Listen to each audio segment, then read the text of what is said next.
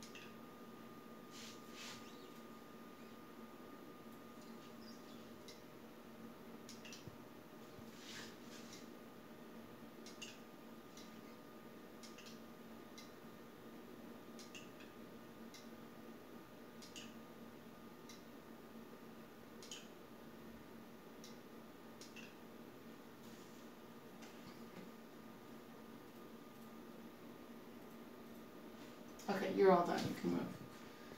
Okay, so that's the basic shape of your skull with some landmarks uh, indicated here in blue, the ones that I uh, pointed on your head. So we're going to take this with the recording of the magnetic field. Yep, I'll take that from you. And that's how we'll get your brain data. You all ready to go in the machine? Okay. Okay. so I'll have you uh, take off everything metal, even something very small like a